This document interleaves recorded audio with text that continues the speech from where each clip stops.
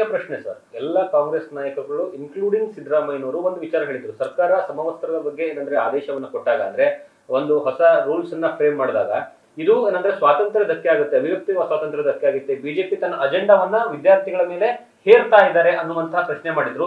ಇದೇ ಇವತ್ತು ಹೈಕೋರ್ಟ್ನಲ್ಲಿ ಆದೇಶ ಬಂದಿದೆ. ಯಾವುದೇ ಕಾರಣಕ್ಕೂ ಸಮವಸ್ತ್ರದ ನೀತಿ ಸಂಹಿತೆ ಏನ ಕಾನೂನು ಕಾನೂನುಬದ್ಧವಾಗಿದೆ ಯಾವುದೇ ಕಾರಣಕ್ಕೂ ಸಹಿತ ಇನ್ನು ತೊಂದರೆ ಇಲ್ಲ ಆ ವಿಚಾರದಲ್ಲಿ ಅಂತ ಸರ್ಕಾರದ ನಡೆಯನ್ನು ಶ್ಲಾಘಿಸಿದೆ. ಇದಕ್ಕೆ ನೀವೇನು ಹೇಳ್ತೀರಾ? ನೋಡಿ ಈಗ ಸಿದ್ದರಾಮಯ್ಯನವರು ಅವರು ಮತಗಳಿಕೆಯ ಉದ್ದೇಶದಿಂದ ಮತಾಂಧತೆಯನ್ನು ಬೆಂಬಲಿಸುವಂತ ಮನಸ್ಥಿತಿಯನ್ನು ಒಳಗೊಂಡಿರ್ತಕ್ಕಂಥ ಒಬ್ಬ ನಾಯಕರು.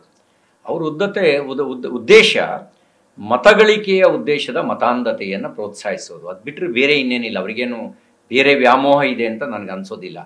ಅವರಿಗೆ ಆ ಮತಗಳಿಕೆಯ ಮತಾನ್, ಉದ್ದೇಶದಿಂದ ಮತಾಂಧತೆಯನ್ನು ಪ್ರೋತ್ಸಾಹಿಸ್ತಾ ಇದ್ದಾರೆ. ಆ ಕಾರಣಕ್ಕೆ ಅವರ ಆ ಹೇಳಿಕೆಯನ್ನು ಕೊಟ್ಟಿದ್ದಾರೆ. ಅವರಿಗೇನು ಮುಸ್ಲಿಂ ಮೇಲೆ ಪ್ರೀತಿ ಇದೆ ಅಂತ ಅನ್ಸೋದಿಲ್ಲ. ಮುಸ್ಲಿಂ ಓಟಿನ ಮೇಲೆ ಪ್ರೀತಿ ಇದೆ. ಅದಕ್ಕೆ ಈ ರೀತಿಯ ಮತಾಂಧತೆಯನ್ನು ಪ್ರೋತ್ಸಾಹಿಸುವಂಥ ಕೆಲಸವನ್ನು ಮಾಡ್ತಾರೆ. ಇಲ್ಲಿ ಅವ್ರಿಗೆ ನಾನು ಕೇಳೋದು ಸಿದ್ದರಾಮಯ್ಯನವರಿಗೆ. ಹಾಗಿದ್ರೆ ಯೂನಿಫಾರ್ಮ್ ಅಂತ ಯಾಕೆ ತಂದರು? ಯೂನಿಫಾರ್ಮ್ನ ಉದ್ದೇಶ ಏನು? ಶಾಲೆಯಲ್ಲಿ ಯೂನಿಫಾರ್ಮ್ ಇರಬೇಕೋ ಬೇಡವೋ? ವಸ್ತ್ರ ಸಂಹಿತೆ ಅವ್ರ ಸ್ವಾತಂತ್ರ್ಯ, ಆದ್ರೆ ವಸ್ತ್ರದ ಹೇರಿಕೆ ಮತಾಂಧತೆ. ವಸ್ತ್ರ ಸಂಹಿ ನೋಡಿ ವ್ಯಕ್ತಿಗತವಾಗಿರತಕ್ಕಂಥ ಸ್ವತಂತ್ರವನ್ನು ನಮ್ಮ ದೇಶದ ಸಂವಿಧಾನ ಕೊಟ್ಟಿದೆ. ಹಾಗೆಯೇ ಪ್ರತಿಯೊಂದು ಮತಗಳು ಕೂಡ ಇನ್ನೊಬ್ಬರಿಗೆ ಹಾನಿಯಾಗದ ರೀತಿಯಲ್ಲಿ ತಮ್ಮ ಮತದ ಆಚರಣೆ ಮಾಡೋದಕ್ಕೂ ಕೂಡ ಅವಕಾಶವನ್ನು ಭಾರತ ಕಲ್ಪಿಸಿಕೊಟ್ಟಿದೆ.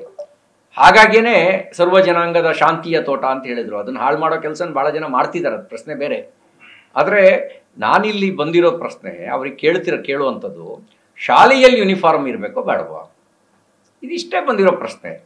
ಹಿಜಾಬ್ ಇರಬೇಕೋ ಬೇಡವೋ? ಬುರ್ಕಾ ಇರಬೇಕೋ ಬೇಡವೋ? ಅದು ನಂತರದ ಪ್ರಶ್ನೆ. ಈಗಿರೋ ಶಾಲೆಯಲ್ಲಿ ಯೂನಿಫಾರ್ಮ್ ಇರಬೇಕೋ ಬೇಡವೋ?